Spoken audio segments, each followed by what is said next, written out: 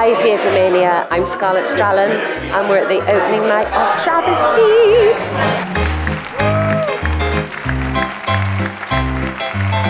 Tom Stoppard is incredible. The wordplay, the smarts, the thoughts, the philosophy, the fun. Smart, funny, brilliant. I've just seen a few of his plays over the years, but I also had dinner with him once. What? He's smart in person as he is on the page.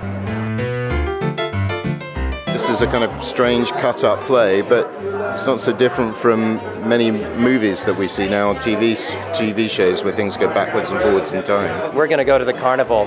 You know, we'd love you to come along. We're going to have a good time. It turns into song, it turns into limerick poetry, it turns into magic, dance, Dadaist art. I love hearing the audience's surprise.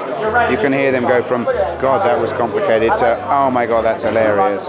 There's a beaver, there's a stuffed beaver on the set, which is always funny. You can't look up funny in the dictionary, a picture of a taxidermy beaver. And a badger. The badger doesn't get as much love. The badger's named Humphrey, and the beaver's named Winifred. I thought they should be named Tom for Tom Stoppard and Oscar for Oscar Wilde.